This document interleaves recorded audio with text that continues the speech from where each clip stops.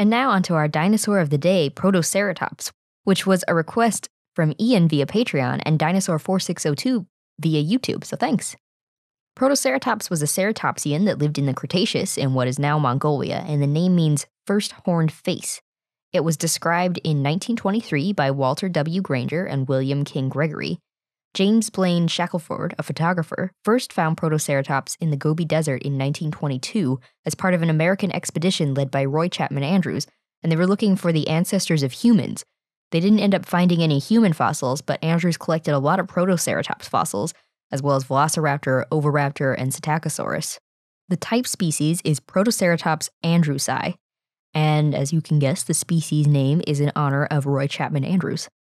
There's two species, Protoceratops andrewsi and Protoceratops hellenikorhinus.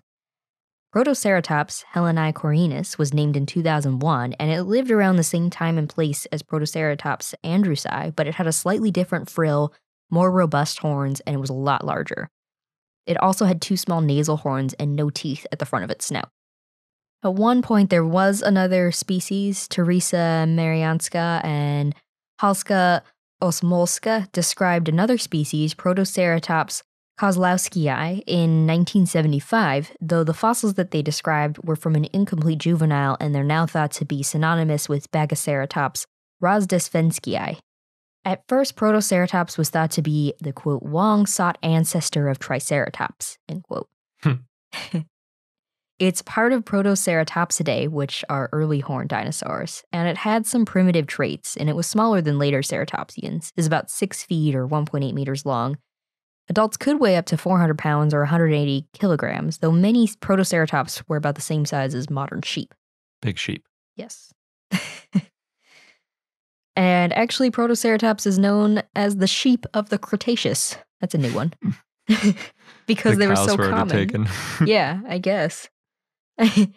and Anthony J. Martin has called them at one point Mesozoic mutton.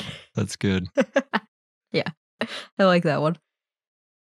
Nicholas Longrich said that Protoceratops has often been found in an upright position, so they may have been standing in tunnels when they died, which means that they may have burrowed. And it would also make sense why so many Protoceratops have been found, because being underground meant that they were less likely to be scavenged. It's an interesting thought. Mhm. Roy Chapman Andrews found fossilized eggs in Mongolia in the 1920s that were thought to be Protoceratops, but then that turned out to be Oviraptor. And we talked about this in episode 78, Oviraptor. And that's when that's why scientists first thought that Oviraptor ate Protoceratops eggs, and Oviraptor got its name egg thief. In 1971, a velociraptor fighting a Protoceratops was found in Mongolia, and they probably died by a sandstorm or had a sand dune collapse on top of them. Yeah, that's by far one of the coolest dinosaur finds ever. It's called the fighting dinosaurs. Yeah, just sad, sudden death. Yeah. anyway, in 2011, a nest of 15 young Protoceratops andrewsi was found in Mongolia. It was the first Protoceratops nest found. And that shows that Protoceratops may have cared for their young, at least early on.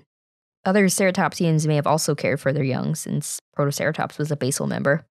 Their eggs probably incubated for at least 83 days, and this is based on studies of the lines of growth in teeth in embryo Protoceratops andrewsi. Protoceratops was the first dinosaur found preserved with footprints. There was one found in 1965, but it wasn't studied until 2011. But the footprint was right under the skeleton. Oh, cool. Yeah. Protoceratops was most likely quadrupedal. It had a large beak for cropping vegetation, and it had pointy cheekbones called epijugals. It had powerful jaw muscles to slice through plants, and it had a large skull. It also had large orbits in the skull, so probably had large eyes. And it had sclerotic rings in the eyes, so it may have been cathemeral.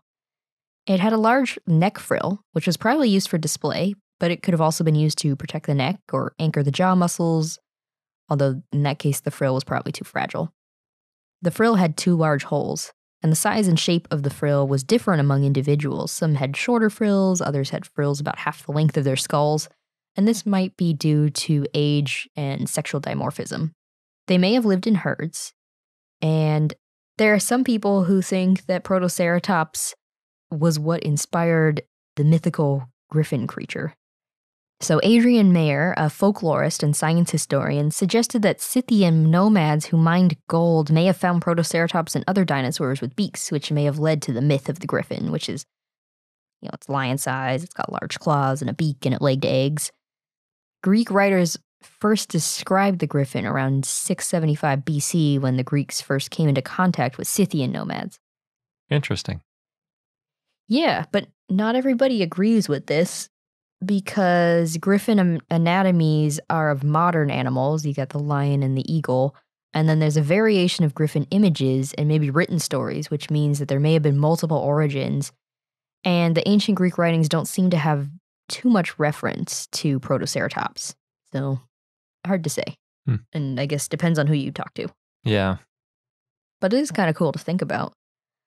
Protoceratops lived alongside Gallimimus, Velociraptor, Oviraptor, and Tarbosaurus, and it lived in a dry and arid habitat.